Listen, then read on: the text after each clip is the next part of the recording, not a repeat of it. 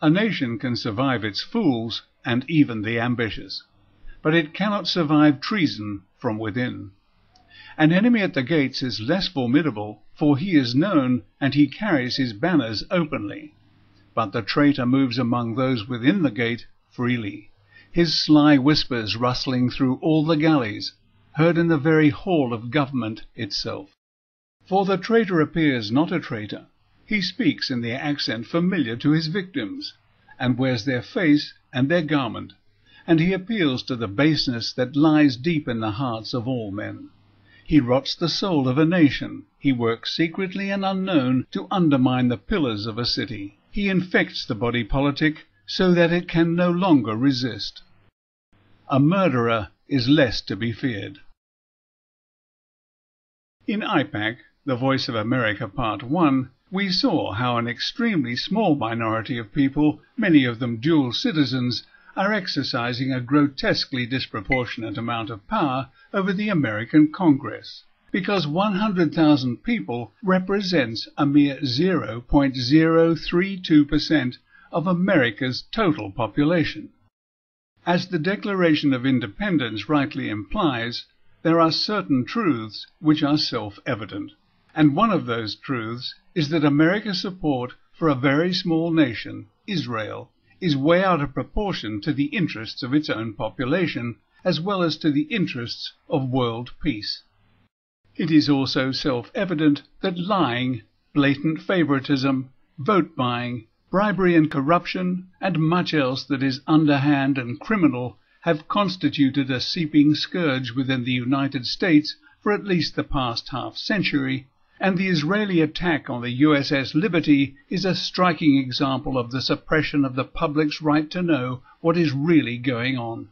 In the January 16, 2004 edition of Stars and Stripes, the late Admiral Thomas Moorer, former commander of the US 7th Fleet, wrote the following.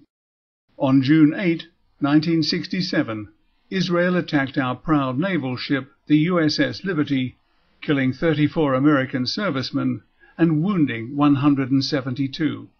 Those men were then betrayed and left to die by our own government.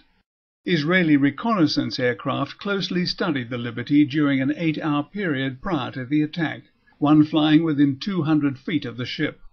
Weather reports confirm the day was clear with unlimited visibility. The Liberty was a clearly marked American ship in international waters, flying an American flag and carrying large U.S. Navy hull letters and numbers on its bow. U.S. military rescue aircraft were recalled not once but twice through direct intervention by the Johnson administration. Secretary of Defense Robert McNamara's cancellation of the Navy's attempt to rescue the Liberty, which I confirmed from the commanders of the aircraft carriers America and Saratoga, was the most disgraceful act I witnessed in my entire military career. To add insult to injury, Congress to this day has failed to hold formal hearings on Israel's attack on this American ship. A little over 34 years later, this extraordinary interview took place. Five Israelis had been detained in New York for acting suspiciously following the 9-11 attacks but unconditionally freed by the FBI and back in Israel 10 weeks later, one of them had this to say on live TV. Our purpose was to document the event. To document an event that took America and the rest of the world totally by surprise? And the same dark forces that let Israel off the hook time and again were at work when a substantial majority of the United States Congress felt obliged to sign letters pledging their support for Israel when the United States Vice President was virtually slapped in the face with a wet fish by Tel Aviv over the building of housing for Israelis in illegally occupied East Jerusalem. And the congressional letters of support actually followed the insult. It was like a bunch of supplicants saying, Hit me again, insult me all you like, it makes no difference, I am your friend. So what's going on? Here's one highly probable scenario, which I've called the treasonous dollar drain, engineered by AIPAC. Every year, loyal US citizens dutifully pay their federal taxes, which are then used for many purposes, one of which is to supply aid in various forms to Israel. Currently estimated at being about $3 billion per year.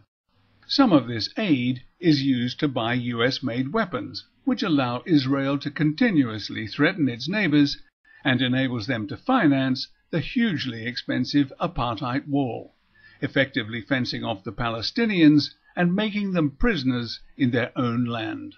It is self-evident that some of this money is bound to find its way back to the United States to be used to top up the election campaign funds for politicians, who, when elected, will be very keen to vote even more aid to Israel next time around.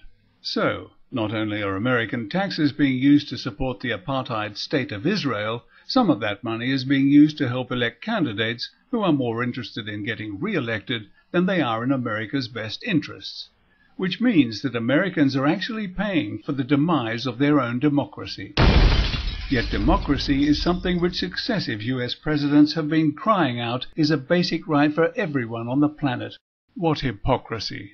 It doesn't much matter which candidate wins, Democrat or Republican, or at what level, congressperson, senator, vice president, or president. He or she, having taken the proverbial 30 pieces of silver, is now expected to do AIPAC's bidding.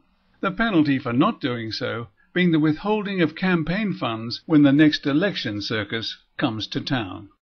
It is estimated that up to November 2008, about $114 billion have been contributed by Americans to Israel. And what has America seen for that money? Absolutely nothing. Quite the reverse. The constant tensions in the Middle East, extending through Afghanistan to Pakistan, mean a growing threat to all American citizens because of their president's likelihood to continuously escalate the warlike attitude and threats against any nation in that area which Israel says is a threat to them, Iran being the nation currently in Israel's hate sights, and one cannot help but wonder which nation in that troubled region might be next.